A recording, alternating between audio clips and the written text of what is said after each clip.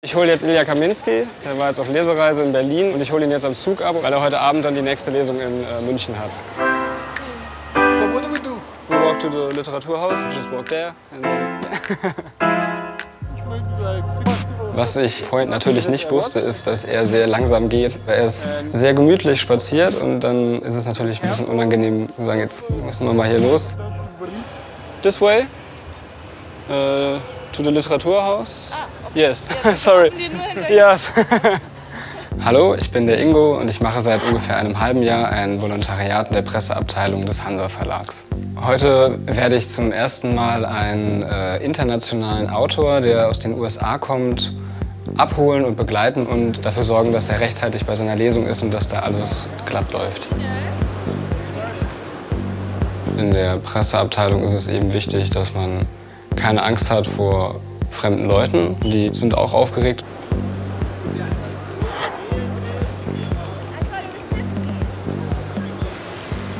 Das Schlimmste wäre natürlich, wenn er jetzt nicht ankommt oder im falschen Zug ist oder in der falschen Stadt und ich hier stehe und dann habe ich ein äh, Problem.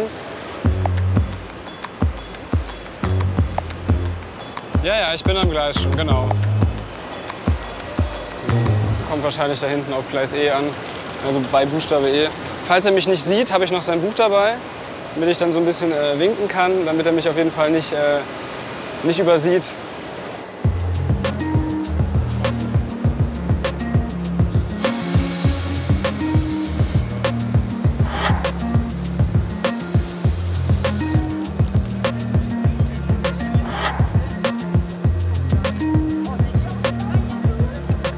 Für mich war es vorher nicht klar, ähm, wie gut er jetzt dann letztendlich hört, weil das ist ja nichts, was ich ihn vorher frage.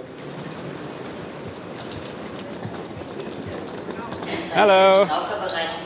Hello. How are you? Nice to see you. Yes, it's a pleasure. But how are you? How, how were the readings? And I'm really looking forward to the reading this evening. Yes. Ja, da war dann schon eine gewisse Aufregung, aber er hat mich gut verstanden und was immer auf jeden Fall geholfen hat, ist, wenn man draußen war, dass er auch die Lippen lesen konnte. did you uh, enjoy looking out of the window? To, to see a lot? You got to see some Germany. Yeah.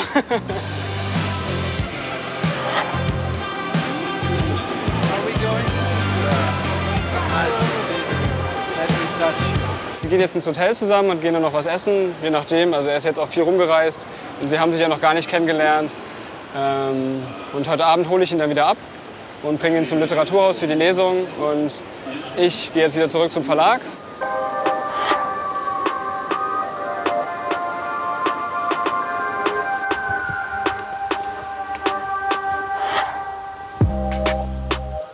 Fragen, wenn man Fragen hat, ist, glaube ich, auch eine wichtige Sache. Denn niemand geht davon aus, dass man alles weiß am Anfang. Und ich bin hier zum Lernen und nicht, weil ich alles weiß. Hallo.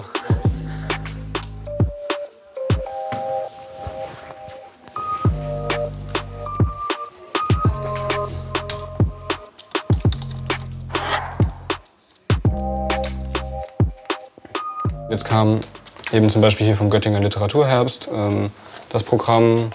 Und da sind auch ein paar von unseren Autoren und Autorinnen dabei. Und damit das online auch zu finden ist, werde ich dann hier das eintragen. Genau, das ist auch so eine meiner typischen Aufgaben. Ich habe noch eine Nachricht bekommen von Ilja, sehe ich gerade. Hat mir noch geschrieben, äh, thank you very much for all your help. Was ich auch als gutes Zeichen äh, bewerte.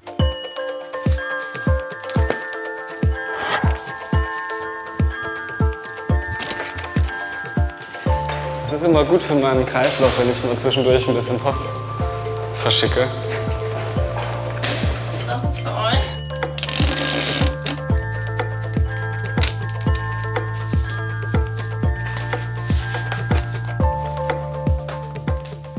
Also es ist eben so, dass bei Germanistik gibt es jetzt nicht so wahnsinnig viele Jobs wie bei Informatik oder wo es nicht so klar ist wie bei Medizin, weil das einfach ein viel breiteres Gebiet ist, in dem man arbeiten kann, was vielen, die das auch studieren, selbst gar nicht bewusst ist unbedingt, weil es nicht festgeschrieben ist und es gibt wirklich permanent Jobs. Man sollte auch schnell sein in vielen Fällen, weil eben viele sich bewerben. Und was einfach auch ein Knackpunkt ist, einfach dranbleiben. Es wird nicht beim ersten Mal funktionieren. Das ist meine Erfahrung. Und ich habe Einfach auch, ich habe auch sehr viele Bewerbungen äh, geschrieben, äh, bestimmt 30 oder 40. Und dann hatte ich plötzlich eine Woche, wo ich fünf Zusagen bekommen habe, aus dem Nichts.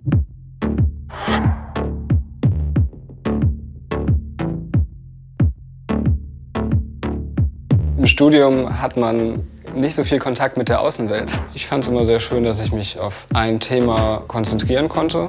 Bei Hausarbeiten, in Seminaren. Das ist mir jetzt nochmal bewusst geworden, dass es schon auch auf jeden Fall ein Luxus ist, weil gerade jetzt ähm, der Presse ist, es sind tausend Dinge jeden Tag, da ist alles ein bisschen zerstückelter und eben nicht mehr diese eine Sache, mit der man sich ein paar Wochen lang beschäftigen kann.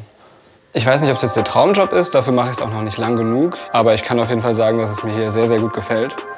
Und ich mich sehr glücklich schätze, hier in einem Umfeld zu arbeiten, wo ich eben auch nicht erklären muss, warum ich Germanistik studiert habe. Hier ist das selbstverständlich. Hier sind überall Bücher um mich herum und ich treffe die Menschen, die die Bücher machen und die Bücher veröffentlichen und das gefällt mir schon sehr gut.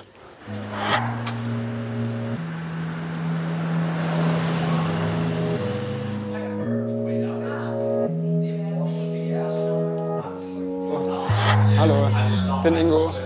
Hallo, ja, freue mich sehr. Ja, schön. War Ilja schon im Verlag heute? Ähm, nee, heute Mittag erst wieder angekommen im Zug.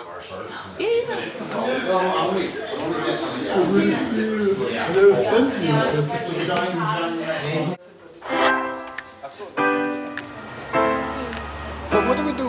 We walk to the Literaturhaus, we just walk there and then...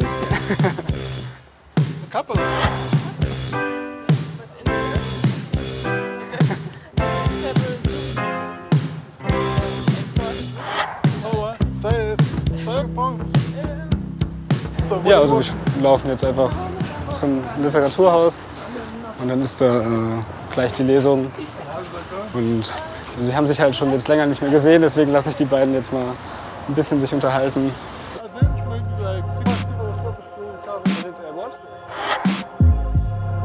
Was ich vorhin natürlich nicht wusste, ist, dass er sehr langsam geht, aber auch gerne geht. Er wollte nicht mit dem Taxi fahren, die Viertelstunde, aber er ist sehr gemütlich spaziert und dann ähm, ist es natürlich ein bisschen unangenehm so, zu sagen, jetzt müssen wir mal hier los. This way? Uh, to the Literaturhaus? Yes, sorry. Yes.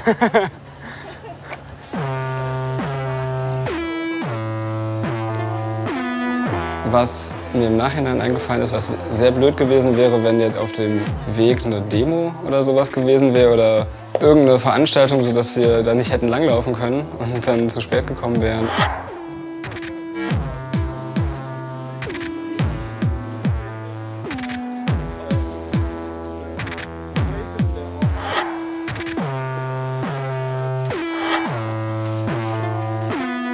Wir werden jetzt überlegen, wie wir das machen und dann freue ich mich, wenn ich gleich Ruhe habe und ein bisschen sitzen kann.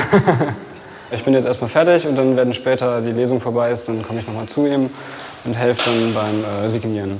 A very warm welcome to you, dear Ilya Kaminsky. We're really glad to have you here tonight. Thank you. wants to watch a car, demanding a man's driver license. And when a man reaches for his wallet, the cat shoots into the car window. Shoots. It's a peaceful country.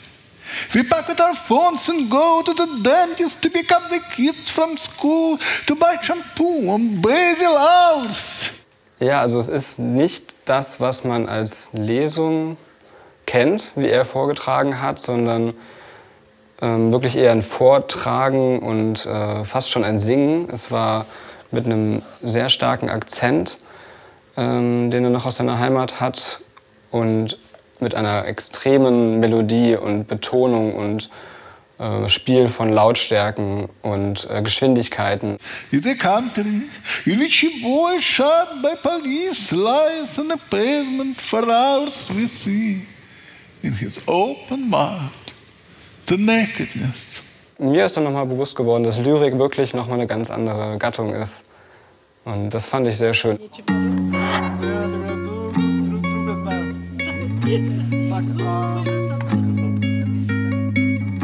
Wollen Sie es auf Deutsch oder wollen Sie es auf Englisch drin haben? Wie es besser geht. As, you, as it's better for you. That, is, that the, ist das so korrekt, Fritz? Ja, ja. So this is the name, this is FR. Also besonders schön fand ich es auf jeden Fall beim Signieren dabei zu sein, weil ich dann wirklich ganz nah beim Autor bin und ihm auch aktiv helfen kann. Und aus der Perspektive vom Autor eben zu sehen, wie es ist ja auch eine Überwindung, dann hinzugehen. Ich kenne das ja von mir selbst und dann zu sagen, ja, hallo, ähm, es war sehr schön und einfach diese Freude dann zu sehen, das fand ich schon sehr schön, weil dann weiß man auch, warum man hier Bücher macht. Could you uh, sign that just for me? Because I also uh, liked it a lot. I'm sorry? just, just, just for me. So. Uh,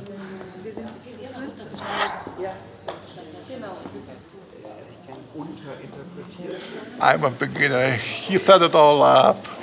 so he's not a beginner. He's very experienced. I just show it up. Somebody had to actually make it happen. And that is him. thank you, thank you very much. That's really kind of Thank you. you.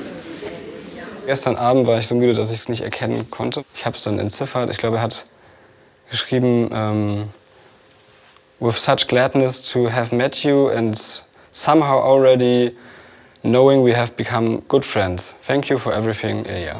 Das ist schon sehr schön. Das ist halt eine Erinnerung, die werde ich jetzt auch in 10, 20, 30 Jahren immer noch haben. Weil dann hole ich das Buch aus dem Regal und lese das und das ist halt schon sehr besonders.